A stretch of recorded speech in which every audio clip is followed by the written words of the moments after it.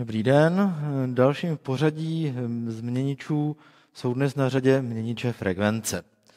Já začnu nejdřív přímým měničem frekvence, který se v podstatě moc nepoužívá, takže ho velmi zkrátím, spíše jenom o to seznámit se s principem. Přímý měnič frekvence blokově, blokově funguje tak, že máme v podstatě dva usměrňovače řízené, já to nakreslím blokově, které pracují v protifázi do stejné zátěže. To znamená, tadyhle přivádíme jedno až tři fáze střídaviny a tadyhle máme zátěž. Typické zapojení, toho bych měl plnou tabuli, by byly dva šestipulzní usměrňovače, jeden z teristory směrem nahoru, druhý z teristory směrem dolů, které by pracovaly s třífázovým vstupem a na výstupu by měly eh, jednu fázi zátěže a další dvojice těch šesti pulzních by byla pro druhou fázi a třetí dvojice pro třetí fázi. Tedy si představme, že toto bude výkonový třífázový přívod, pak tam bude dohromady šest šestipulzních usměrňovačů a výstupem bude nějaký motor pro nějakou těžní věž, nějaký pomaloběžný motor. Jak říkám, dneska se s tím nesetkáme, takže to velmi rychle spláchnem, ale ten princip, ten ukážu na podstatně menším zapojení. Když bychom to měli celé jenom jednofázové, kde je to z praktického pohledu prakticky nepoužitelné, protože ten přímý měnič frekvence umí frekvenci jenom snižovat. A pokud bude jenom jednofázový, tak to snížení je někam k jednotkám herců, takže nic moc. Takže takhle mám jeden můstek, takhle si dáme druhý můstek,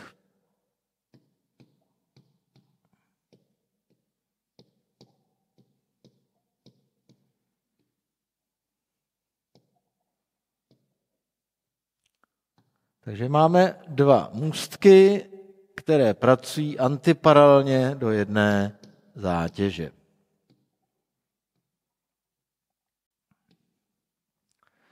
No a my můžeme buď řídit úplně primitivně, a to tak, že tam v podstatě pustíme dvě půlvlny a pak tam pustíme dvě půlvlny záporné, například, nebo tři. Výsledek bude obsahovat mraky harmonických, druhou nebo třetí, podle toho, kolik jich tam pustíme. A tadyhle vlastně pracuje usměrňovač A, pokud bude tohleto usměrňovač A a tohle usměrňovač B, no tak tadyhle nám pracuje A a tadyhle nám pracuje B. No a výsledná frekvence, tahle perioda T rovná se 2T původní.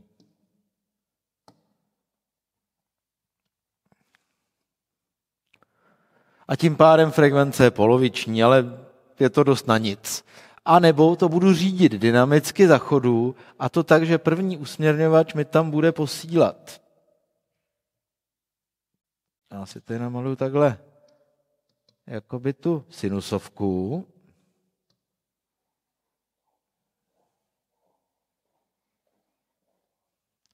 No a ten první usměrňovač mi tam bude posílat. Tohle Trošku to připomíná tu PVM modulaci. Teď tam pošle celou půlvlnu a teď to bude posílat.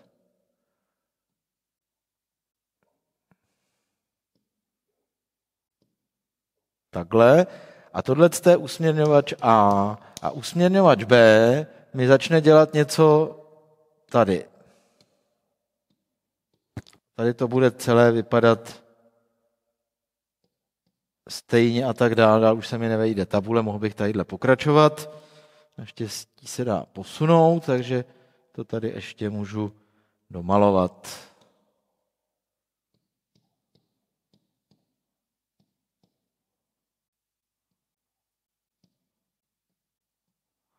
No.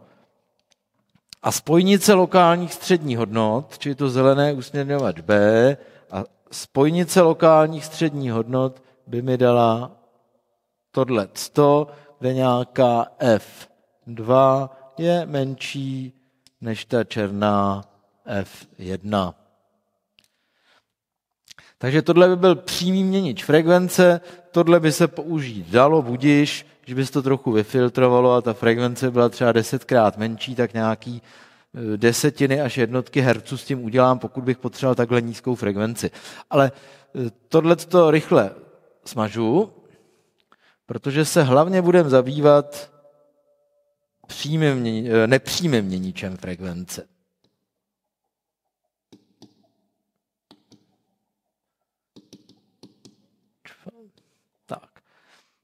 Když jste byli na pár dní ve škole v prosinci, tak jsme probírali nepřímý měnič napětí a ptal jsem se do davu, jak, by mohl, jak bych mohl z menšího napětí udělat napětí větší. A někdo mi velmi briskně odpověděl, že to napětí rozestřídáme, zvětšíme transformátorem a usměrníme. No a tady stejný dotaz bych vznesl teď jak udělat z menší frekvence frekvenci větší. Tedy z 50 Hz chci udělat třeba 300.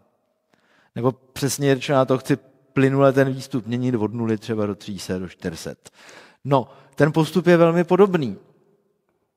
Mám střídavé napětí, napětí U1, F1. A co s ním udělat, abych mohl změnit frekvenci? No já si ho usměrním Poté to musím vyfiltrovat.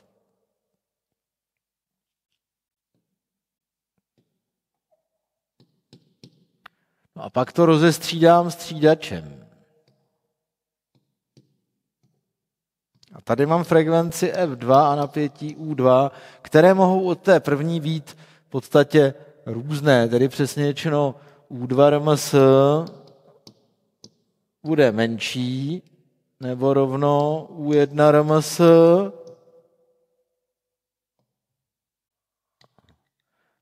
Tedy napětí toto zvětšovat neumí, ale frekvence F2 může být menší, rovna nebo větší, tedy libovolná vzhledem k F1. Tak, a jak by to vypadalo v reálném zapojení? Podíváme se nejdříve na jednofázový e, nepřímý měnič frekvence. Budeme mít usměrňovač,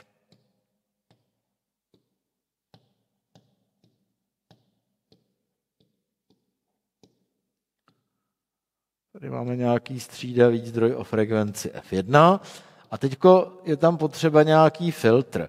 Tak z Loňska známe, že filtrovat se dá kondenzátorem, ale to ve výkonové technice zase až tak moc neplatí, trochu taky, protože samotný kondenzátor bychom potřebovali hrozně veliký a na, na velký proudy a na velký napětí a to je vždycky problém. Takže my potřebujeme filtrovat nejenom napětí, ale i proud a proto se tady udělá tlumivka a pak teprve ten filtrační kondenzátor. Takže je to ve skutečnosti filtr druhého řádu a filtruje nám jak proud, tak napětí.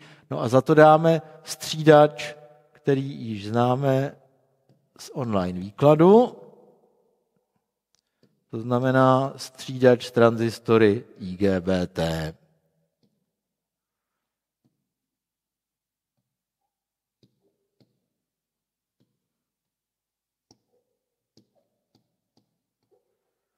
Takže takovýto střídač. No a tadyhle máme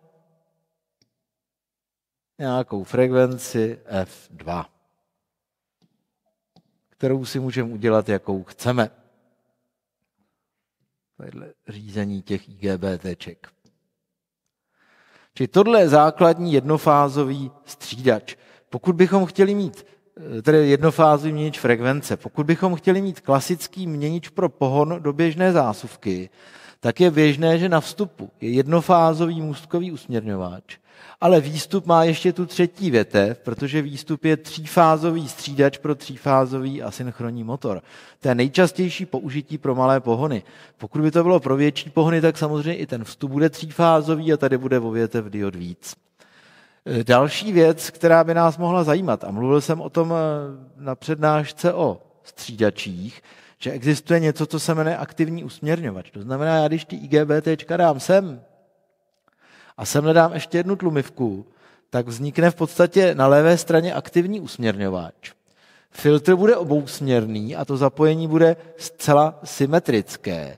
Takže by to mohlo vypadat takto.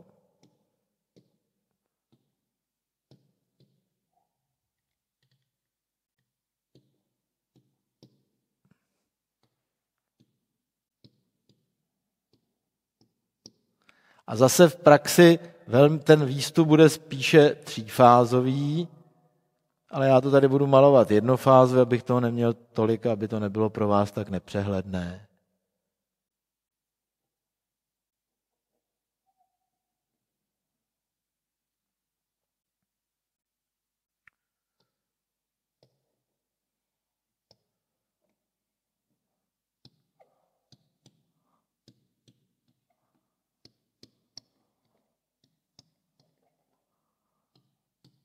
Takže máme tam 8 IGBTček, je to celé jednofázové a funguje to na obě strany.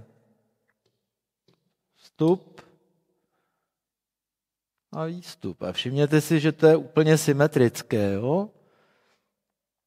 To znamená, že ta věc, pardon, tadyhle ty musí být opačně, protože to musí, musíme spínat takhle, aby nám tekl ten proud kladný.